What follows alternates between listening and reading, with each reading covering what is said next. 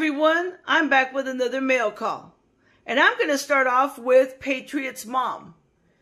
She sent me her new channel sticker, and that is just amazing. It is so beautiful. Thank you, Patriot's mom.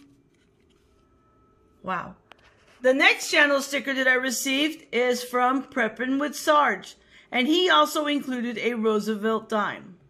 And I love what it says in the bottom. Planting seeds and stacking silver.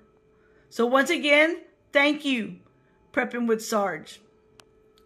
Next is something that I got from Paris, Texas, an antique shop up there. And these are some more wheat pennies. And so I'm going to look through them and see if I find anything of interest.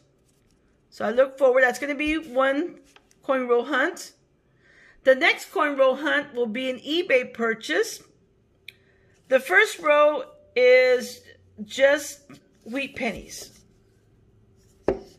But the next five rows have Indian head enders. So that's going to be a really cool. So I can expect to hopefully find some older pennies that I can add to my coin book.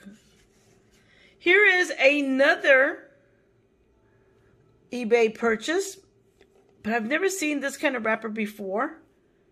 It says United States Federal Currency. And that's really cool. So I look forward to going through these wheat pennies and see if I find anything of interest. The seller also included two Indian heads and a mercury dime. This is the oldest one. And that's in 1892. Can't get it to focus. This one is a 1907. And then I believe this is a 1941 Mercury dime. So that was pretty, I liked it. So until next time, happy collecting and take care. Bye everyone.